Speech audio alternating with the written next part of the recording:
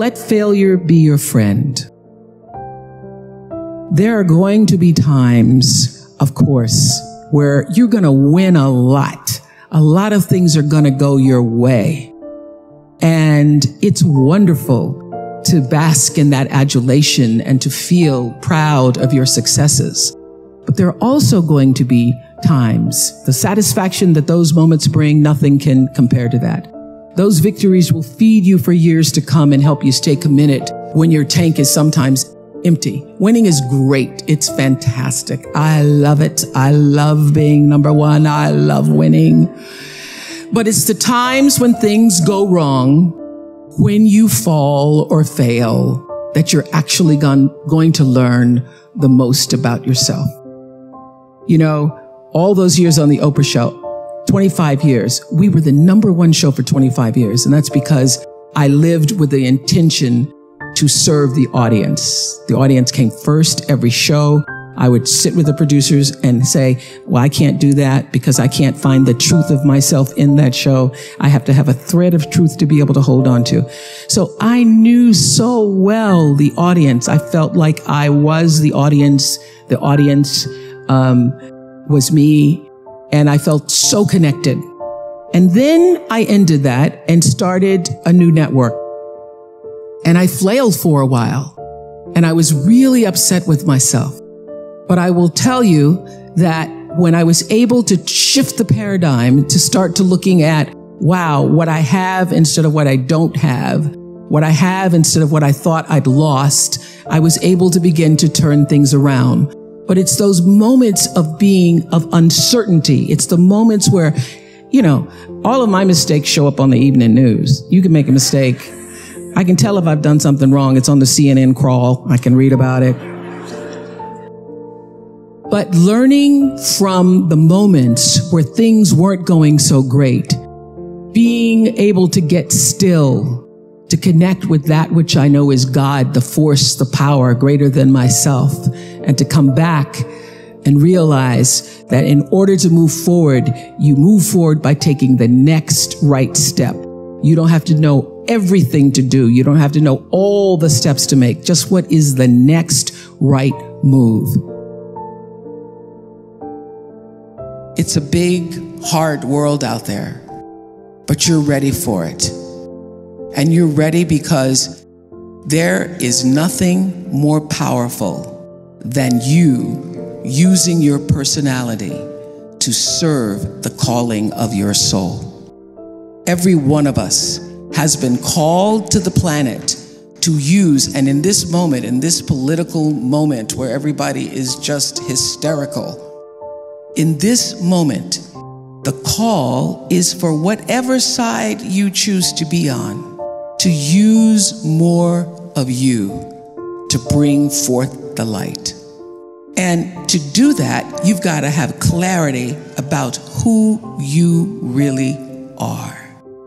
There is no life without a spiritual life. There is no life without understanding what Pierre de Chardin, the philosopher and mystic, said we are spiritual beings having a human experience. So, your real job as you go out to try to find one and have all of this anxiety and fear, and your real job is to know the truth and to create a spiritual practice that allows you to stay in it. To be clear, I'm not talking about your religion. I'm talking about whatever it is that nurtures the essence of you in such a way that you can do what you came here to do. And one of the reasons why I was able to be so successful all those years on the Oprah show is because I understood there was really no difference between me and the audience. I was a surrogate for the audience because I know that the audience and you and you and you want the same thing I do.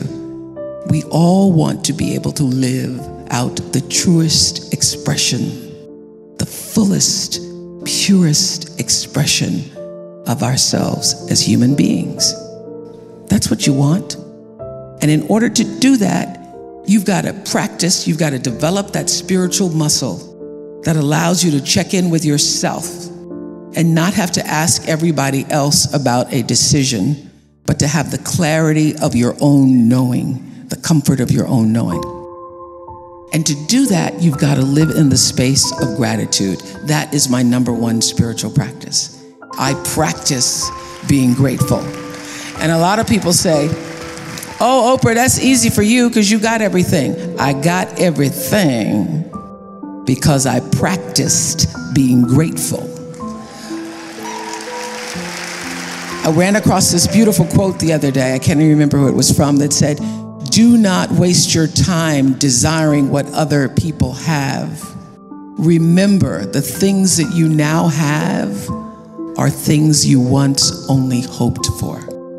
So I live in that space every day of practicing gratitude because I know that being grateful wherever you are, whatever place or space in your life, being grateful changes your personal vibration. I was just having a conversation with Sheryl Sandberg the other day about her book Option B, and we all know she lost her beloved husband, David. And I said, How did you get through it? And she said, by practicing gratitude. I didn't believe it at first, but I started to write down three things every day that I was grateful for. I said, Oh, I've been doing that for years. Because when you wake up in the morning looking at the world for what you're gonna write down or what you're gonna state to yourself by the end of the day that you're grateful for, you have a different outlook on life. I'm just waiting on somebody to hold the door, see if that makes the list. Some days you only have, I'm still breathing, because life gets in the way sometimes.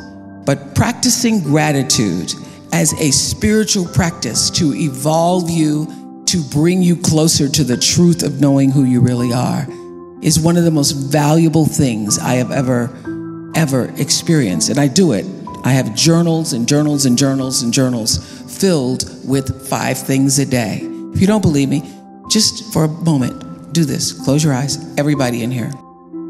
We're gonna do this for five seconds. You're gonna inhale, and on the exhale, just say, Thank you. Inhale, exhale. Do it one more time. Let whatever you're most grateful for in your heart in this moment just rise to the surface. Deep breath. Thank you. Open your eyes. Don't you feel better? You feel better. Researchers have shown that if you can just for 17 seconds a day, 17 seconds a day, bring yourself into the space of presence and gratitude, you literally change your vibration. If you can't give yourself 17 seconds, then you don't deserve a good life. You can't give yourself 17 seconds to breathe and say thank you, then just let whatever happens, happens to you. In 1964, I was a little girl sitting on the linoleum floor of my mother's house in Milwaukee, watching Anne Bancroft present the Oscar for Best Actor at the 36th Academy Awards. She opened the envelope and said five words that literally made history. The winner is Sidney Poitier. Up to the stage came the most elegant man I had ever seen. I remember his tie was white and of course his skin was black and I'd never seen a black man being celebrated like that.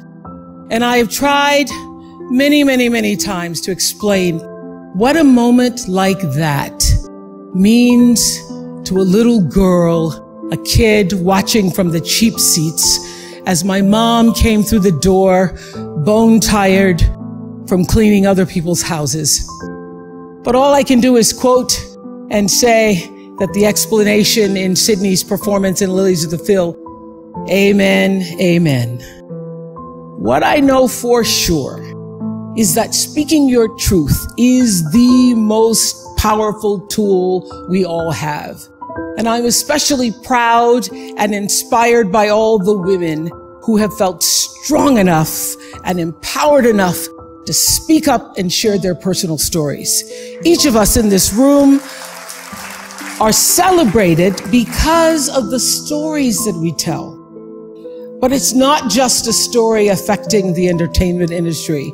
It's one that transcends any culture, geography, race, religion, politics, or workplace.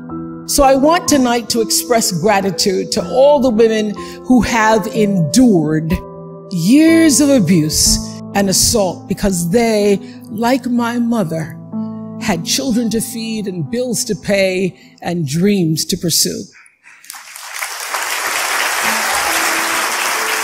They, they, they're the women whose names we'll never know. They are domestic workers and farm workers. They are working in factories and they work in restaurants and they're in academia and engineering and medicine and science. They're part of the world of tech and politics and business. There are athletes in the Olympics and there are soldiers in the military. And there's someone else, Recy Taylor. A name I know and I think you should know too. In 1944, Recy Taylor was a young wife and a mother. She was just walking home from a church service She'd attended in Abbeville, Alabama, when she was abducted by six armed white men, raped and left blindfolded by the side of the road, coming home from church. They threatened to kill her if she ever told anyone. But her story was reported to the NAACP where a young worker by the name of Rosa Parks became the lead investigator on her case. And together they sought justice. But justice wasn't an option in the era of Jim Crow. The men who tried to destroy her were never persecuted. Recy Taylor died 10 days ago, just shy of her 98th birthday. She lived as we all have lived too many years in a culture broken by brutally powerful men. For too long, women have not been heard or believed if they dared to speak their truth to the power of those men. But their time is up. In my career, what I've always tried my best to do, whether on television or through film, is to say something about how men and women really behave, to say how we experience shame, how we love and how we rage, how we fail, how we retreat, persevere, and how we overcome. I've interviewed and portrayed people who've withstood some of the ugliest things life can throw at you. But the one quality all of them seem to share is an ability to maintain hope, for a brighter morning, even during our darkest nights. So I want all the girls watching here and now to know that a new day is on the horizon. And when that new day finally dawns, my life is fueled by my being and the being fuels the doing. So I come from a centered place. I come from a focused place. I come from compassion. It's just, it's just my nature. I come from a willingness to understand and to be understood. And I come from wanting to, to connect. I mean, the secret of that show for 25 years is that people could see themselves in me all over the world they could see themselves in me. And even as I became more and more financially successful, which was a big surprise to me, I was like, oh my God, this is so exciting. so, but what, what I realized is through the whole process, because I'm grounded in my own self, that although I could have more shoes, my feet stayed on the ground, although I was wearing better shoes. These are kind of cute today, too. Uh, so I could keep my feet on the ground, even though I could get more shoes. And I could understand, I could understand that it really was because I was grounded. I've, I've done the, was doing and continue to this day to do the consciousness work I work at staying awake. And being awakened is just another word for spirituality, but spirituality throws people off and they think you mean religion. When I was hiring people for my company for OWN, uh, for looking for presidents, uh, when people would come in, I'd say, "Tell me what is your spiritual practice?" And literally would throw people. Would go, well, the, I, well, I'm not religious. Or I said, I didn't ask you about your right. religion. I asked you what's your spiritual practice. What do you do to take care of yourself? What do you do to keep yourself centered? What do you do to the and, uh, you know, one woman started crying. You know, that's not the person. so that's a sign. that's a sign. So, so to answer your question, yeah. everything is fueled that comes from me really wanting to be a better person on earth. And this is what I know to be true. The reason why the show worked is because I understood that that audience, my viewers, the people who watched us every day and would come and just like you all did, uh, get tickets and they would come with their family. You all just came across campus, but that's good too. But, but people would come from all over the world just to be there with their aunts and their mothers, and they'd come with their cousins, and there'd be a few men in there going, What the hell? or saying, Well, I went to Oprah with you. I went to Oprah. and all at least give me clear for three or four weeks. I went to Oprah with you. I had such regard for that. And I just had a conversation with John Mackey, who runs Whole Foods. Yeah. And has written this fabulous book. You should get it called um, conscious capitalism. Mm. And he was talking about how the investment in the stakeholders, the people who you are serving, that connection between the people who you're trying to serve and sell to is equally as important as the people who you're buying from, right. equally as important as the people who are, you know, supporting you financially as your stockholders if you are, you know, you know, a public company. So I always understood that there really was no difference between me and the audience. At times I might have had better shoes, but at the core, the core of, of, of what really matters, that we are the same. And you know how I know that? Because all of us are seeking the same thing. You're here at this fabulous school and we'll go out into the world and each pursue based upon what you believe your talents are, what your skills are, maybe your gifts are, but you're seeking the same thing. Everybody wants to fulfill the highest, truest expression of yourself as a human being. That's what you're looking for. The highest, truest expression of yourself as a human being. And because I understand that, I understand that if you're working in a bakery and that's where you want to be and that may be the that may be what you've always wanted to do is to bake mm-hmm. pies for people or bake cakes for people or to offer your gift then then that's that's for you and there's no difference between you and me except that's how that's your platform mm-hmm. that's your show every day so my understanding of that has allowed me to, to to reach everyone and and there's no way that you wouldn't because that's that's what I truly feel Nobody's journey is seamless or smooth. We all stumble. We all have setbacks. If things go wrong, you hit a dead end as you will. It's just life's way of saying, time to change course. So ask every failure. This is what I do. Every failure, every crisis, every difficult time, I say, what is this here to teach me?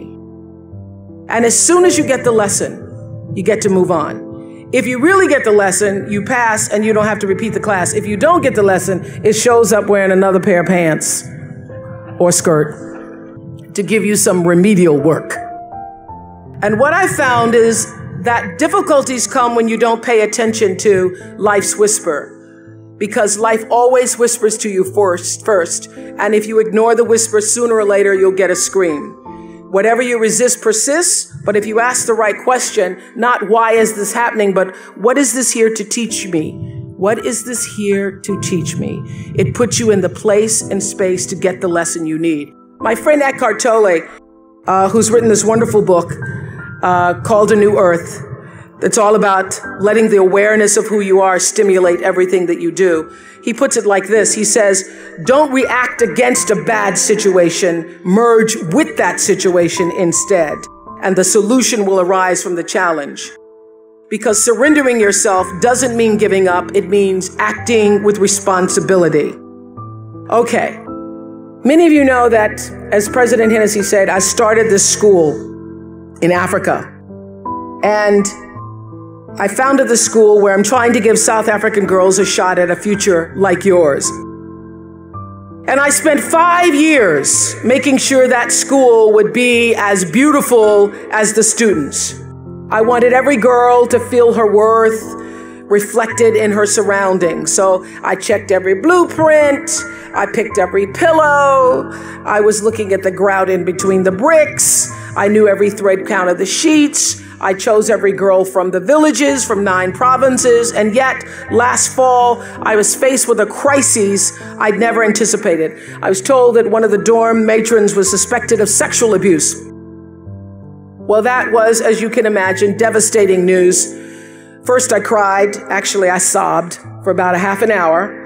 And then I said, let's get to it. That's all you get is a half an hour. You need to focus on the now, what you need to do now. So I contacted a child trauma specialist. I put together a team of investigators. I made sure the girls had counseling and support. And Gail and I got on a plane and flew to South Africa. And the whole time I kept asking that question. What is this here to teach me? And as difficult as that experience has been, I got a lot of lessons. I understand now the mistakes I made because I had been paying attention to all of the wrong things. I built that school from the outside in when what really mattered was the inside out. So it's a lesson that applies to all of our lives as a whole. What matters most is what's inside. What matters most is the sense of integrity, of quality and beauty. I got that lesson. And what I know is, is that the girls came away with something too. They've emerged from this more resilient and knowing that their voices have power. Having compassion for other people is at the top of that list. I would say commitment is at the top of that list. And also a spirit of constructive engagement. And by compassion, I don't just mean sympathy. It certainly isn't pity. It's being present and it's also feeling with other beings. You know, during the years of the Oprah show, I interviewed over 37,000 people one on one. But during all those years of talking to over 37,000 people one on one, I could feel what they were feeling so strongly. Sometimes it made me sick, literally. So I had to learn how to feel how others were feeling, feel with others, which is, which is what it means to be compassionate, to feel with others without taking in all of their stuff. Being compassionate means I feel with you. It is one of the greatest qualities in the world to have if you're going to be uh, majoring in what it takes to be a great human being. I feel with you means I not only am willing to walk in your shoes, it means my heart beats with yours. It means I see myself in you. It means I may not have shared that circumstance, but I know what heartbreak feels like. I know what pain feels like, and all pain is the same. It means I can feel your will to want to do better and be better. And I feel and I am with you in spite of everything that's happened to you. I feel your need to rise. I want to help you rise. I want to rise with you. So many people are worried about building a brand. I hear kids on social media talking about their brand. And I used to really resent the word when people would say to me, Oh, you have this brand because I never, never even thought about a brand. I just thought about day in and day out making the best right choice for me. But now I embrace it because I recognize people see me as a brand. Eh, but for me, it's not a business. It is a question of what do you stand for? And I will say this, you're nothing if you're not the truth. So I have made, I've made a living. I've made a living. I've made a life. I've made a fortune, really. It's fantastic. All good from being true to myself. And, and, that's the, if I could leave you with any message today, that is it. Uh, uh, the biggest reward is not financial benefits, though it's really good. You can get a lot of great shoes. But those of you who have a lot of shoes know that having great shoes and a closet full of shoes or cars or houses or square footage doesn't fill up your life. It doesn't. But living a life of substance can. Substance through your service, your offering of your whole self. And the baseline for how do you live a life of substance is whatever is the truth for you. What do you stand for? I think some people think that are under the impression that I was born empowered, that I was born uh, coming out of the womb, ready to interview a Klansman. then cut to commercial. We'll be right back. But the truth is, I know very well what it's like to be marginalized, to be told either subtly or quite directly that my contribution isn't or wasn't welcome, that my face was invisible, and that my needs were an affront. So back when I was doing the news in Baltimore, I asked to be paid the same as my co-anchor who did exactly the same job as I was doing. And I expected that I would be compensated. So I went in and I asked that I would get the same amount of money. So he was doing the same job I was doing, except that he called me babe all the time. Babe. Yeah, babe. Anyway, I was told by my news director and by the general manager, because first I went to the news director, then I went to general manager, and I was told that because I was a single woman who didn't have a mortgage and I didn't have kids, that I was not entitled to earn the same kind of money as the man who was sitting next to me doing the same thing.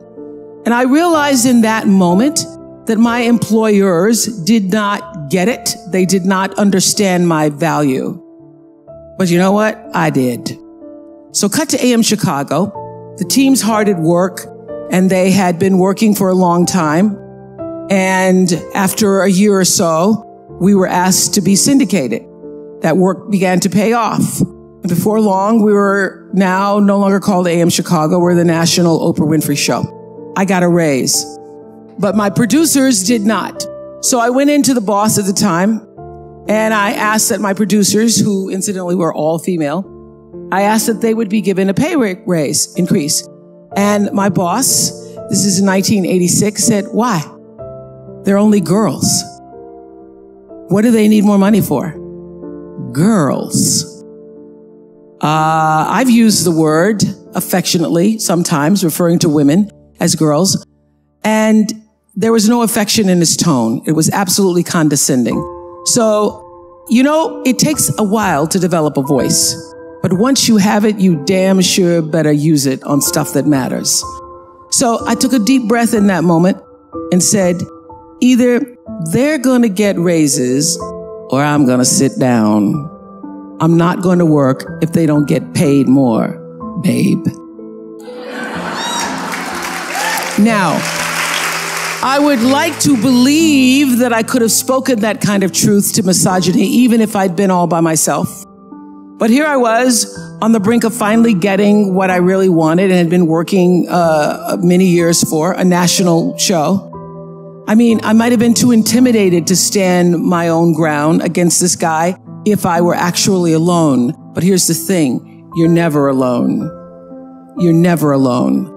The sovereign sound of Maya Angelou's voice was pushing me forward that day, whispering, I come as one, but I stand as 10,000. So when I was faced with the opportunity to advocate for my producers, I silently called on some of the 10,000 and walked into my boss's office, hand in spirit, with the women who had come before me.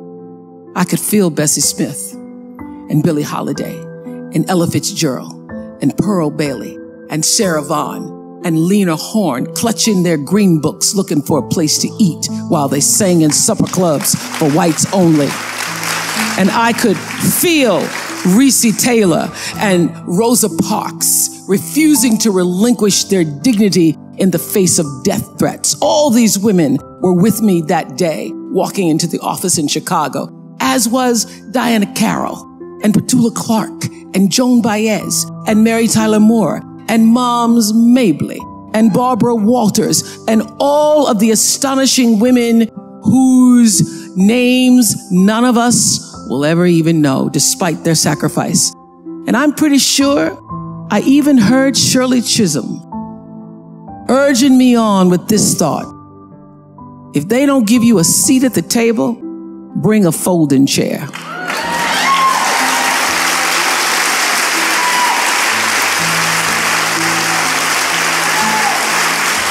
And I understood, I understood that there were so many times that many women from my mother's generation, and God knows my grandmother's generation, who were forced to grit their teeth and just take it because standing up for themselves wasn't even an option. The risk was too great and they knew it. But they also knew in their bones what my dear friend Maya put so eloquently into words when she says, you may not control all the events that happen to you, but you can decide not to be reduced by them. Because these women and so many others like them made the decision not to allow themselves to be reduced by the many injustices they were subjected to, I found the strength to act, if not just for myself, not just for my producers, but for all the women who in their ingenious ways subverted the rules, laid the foundation and pushed the envelope just a little bit further for me.